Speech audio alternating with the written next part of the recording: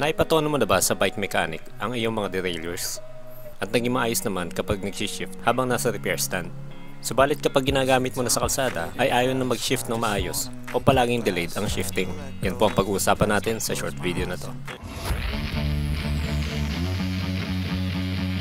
Bagong lahat, maraming salamat po at shoutout sa ating mga kapwa content creators at subscribers na sina Mabalasik Bikers Buddy, Aaron Tony The Coco, Lloyd Pahil Magmago, Matthew Dizon, Bernski Vlog, Jomel D. Valenzuela, DJ Ronilo Music Production, Maso Bikers, Glenmore Garandoy, Call Me Vince, Christian Ravillos, Raymond Espinosa, Claude Salazar, Be Blessed PH, Kenji Vlogs, Richard Bongay, Son Bernardo, Biker Lees, Jimmy Bernaldo, Papa Charles TV, at kay Francis Pabils. Sa mga nice pong pa-shoutout, comment lang po below at sabihin nyo na gusto mong pa-shoutout and you can also message me sa aking Facebook page, Becoming Cyclista. Sa video na to ay hindi ko po kayo tuturuan kung paano magtono ng mga derailleurs.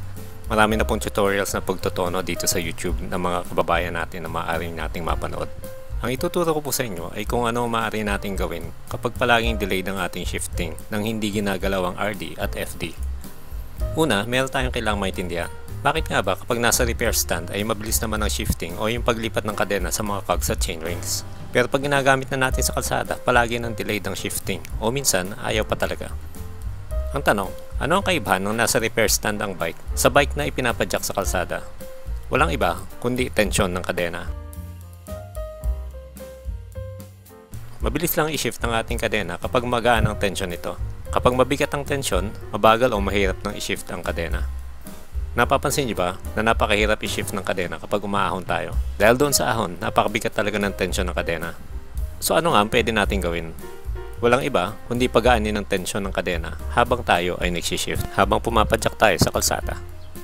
Ang ibig ko pong sabihin ay kailangan mo lang pagaanin, panandalian ang iyong pagpadyak o bawasan mo ang diin sa pedal habang ikaw ay nagsishift at ang iyong kadena ay agad-agad nang lilipat.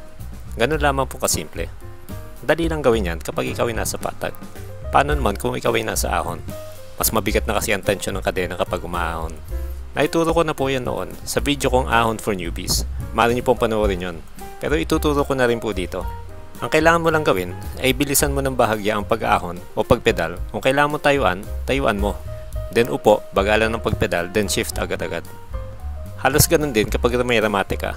Kung gusto mo mag-shift, umpo ka pa ng dalian kung nakatayo ka. Then bagalan pa ng dalian ng pagpedal, then shift agad.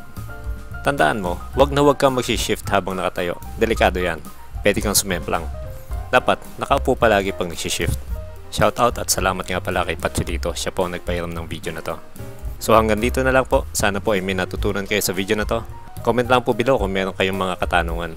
This becomes Cyclista. Please like this video and subscribe.